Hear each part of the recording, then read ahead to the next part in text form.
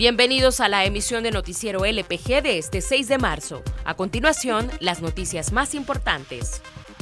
El joven Diego Oviedo será acusado formalmente ante el juzgado de Zaragoza por el delito de homicidio tentado en contra de Cristian Medrano este martes 7 de marzo, así lo informó la Fiscalía General de la República. El hecho sucedió el 17 de febrero en las canchas Calcio en Vía del Corso, Ayagualo, durante un partido de fútbol y fue denunciado por la novia de la víctima. Oviedo fue capturado tres días después por la Policía Nacional Civil. El fiscal Rodolfo Delgado confirmó que han hecho entrevistas y pericias para comprobar la agresión y establecer la gravedad de las lesiones ocasionadas a la víctima.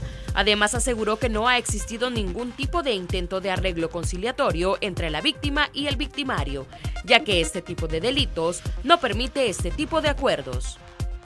La exdiputada de la Asamblea Legislativa, Lorena Peña, será investigada por enriquecimiento ilícito por un monto de 264.143 dólares con 19 centavos que no ha podido justificar.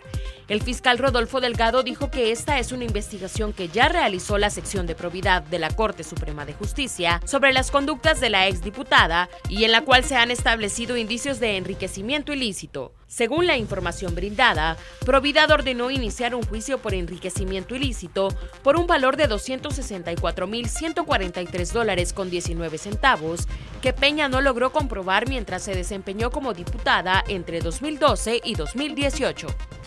Los precios de los combustibles en El Salvador tendrán una baja de hasta 21 centavos a partir de este martes 7 de marzo, así informó la Dirección de Energía, Hidrocarburos y Minas. Los nuevos precios estarán vigentes hasta el 20 de marzo.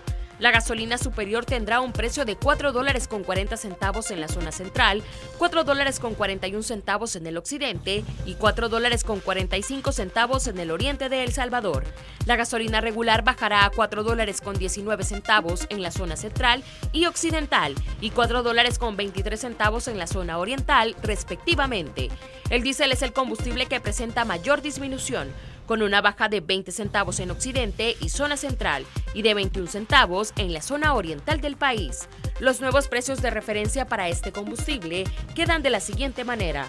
4 dólares con 14 centavos en la zona central, 4 dólares con 15 centavos en el occidente y 4 dólares con 18 centavos en los departamentos orientales del país.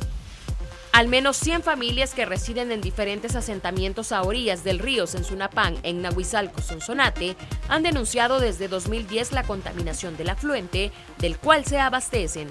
Los afectados se refieren a supuestas descargas de aguas no tratadas, provenientes de la planta de tratamiento de aguas residuales a cargo de la Administración Nacional de Acueductos y Alcantarillados, situada en el municipio de Huayúa. Según los pobladores, en varias ocasiones han observado cambios de color en el agua y han percibido mal olor proveniente del río, cerca de la planta de tratamiento.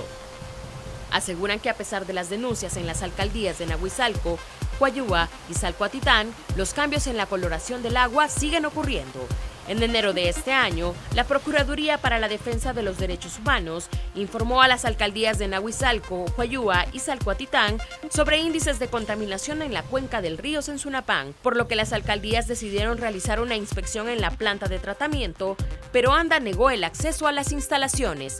Gracias por haberse informado con nosotros, les esperamos mañana.